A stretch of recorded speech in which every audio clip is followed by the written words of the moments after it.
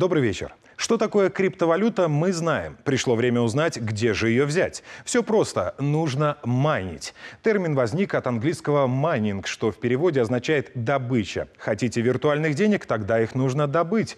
По сути, майнинг – это классическое старательство. Причем в том самом классическом смысле, в каком слово употреблял Джек Лондон. И сходство тем разительнее, что нынешние айтишники через одного ламберсексуалы, то есть носят окладистые бороды, как это было модно во времена золотой лихорадки.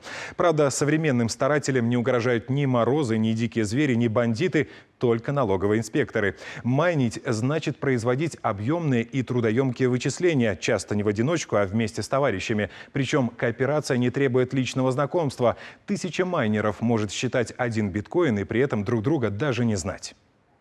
Криптовалюта – это, напомню, неповторимый цифровой код, вычисленный по сложному алгоритму. Для добычи виртуального золота нужно всего ничего – компьютер, доступ в интернет и недорогое электричество. По правде говоря, зеленые уже должны бы объявить майнеров главным врагом. Старатели планеты расходуют 2 тераватта электричества в час. Это одна тысячная мирового потребления. То есть майнеры по объему расхода энергии догоняют автомобилистов.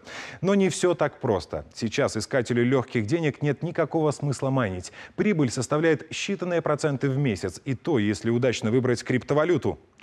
Вычисления в попытке найти заветный биткоин съедают в виде расходов на электричество до половины выручки, а ведь еще необходимо производительное, значит дорогое оборудование. Как в любом старательстве, в майнинге повезло первым. Вторые лишь подбирали крошки. А быть в майнинге третьим можно лишь в ущерб себе, родине и окружающей среде. Именно поэтому декрет о цифровой экономике легализует криптовалюты, но не поощряет майнинг. Стране от него никакой пользы.